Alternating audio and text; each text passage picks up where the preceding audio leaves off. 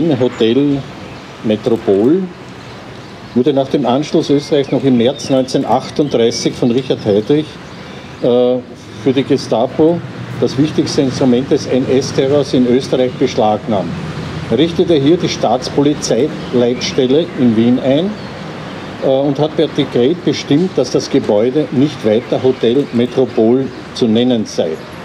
Mit 900 Beamten der Kriminalpolizei, mit vielen Angehörigen der SS war das Haus die größte Dienststelle der Gestapo im Großdeutschen Reich. Die Gestapo zählte insgesamt ca. 18.000 Beamte. Über 500 Menschen mussten täglich zum Verhör in das Gebäude kommen, unter Gefahr misshandelt und gefoltert zu werden. So auch mein Großvater.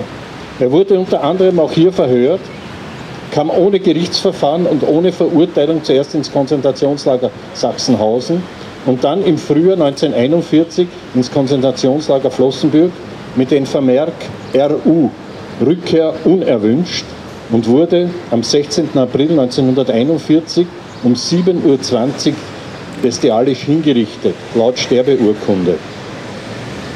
Das Führungspersonal der Wiener Gestapo bestand bis 1944 zu circa einem Drittel aus Reichsdeutschen. Der Großteil des Führungspersonals wurde vorher illegalen österreichischen Nationalsozialisten und anpassungsfähige Polizeibeamte des Schuschnigg-Regimes ausgewählt. Deshalb war es wichtig, dass nach der Befreiung Österreichs vom Naziregime viele Widerstandskämpfer vorrangig für den Polizeidienst meldeten und so eine demokratische, antifaschistische Polizei auf die Beine stellten. So auch mein Vater, der gleich nach seiner Rückkehr nach Wien aus dem Konzentrationslager Buchenwald seinen Dienst bei der Polizei am Deutschmeisterplatz antrat. Diese Polizeibeamten sich setzen sich für Antifaschismus, Antisemitismus und gegen Rassismus und Fremdenfeindlichkeit ein. Und schon im Jahre 1945 sagte Ernst Fischer Folgendes, ein Zitat. In der Wahrung, Sicherheit und Verteidigung unserer Eigenart mögen wir nie vergessen, dass der innerste Kern des Österreichstums eben darin besteht, dass wir keine Angst zu haben brauchen, möglichst viel Fremdes, viel anderes in uns aufzunehmen. Nur wer sich in Wirklichkeit schwach fühlt, hat Angst vor dem Einfluss der Welt. Wer sich stark fühlt, macht beide Arme auf und lässt die Welt an sich heran, weil er weiß, es wird ihn nicht hinwegschwemmen, sondern es wird ihn reicher machen.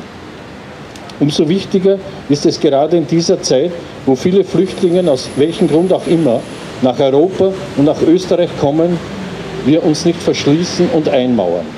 Antisemitismus, Ausländerfeindlichkeit, Rassismus und Fremdenhass hat in unserer Gesellschaft keinen Platz und wir werden nicht zulassen, dass der rechte Rand den Einfluss bekommt, um das zu kippen. Ich danke für die Aufmerksamkeit.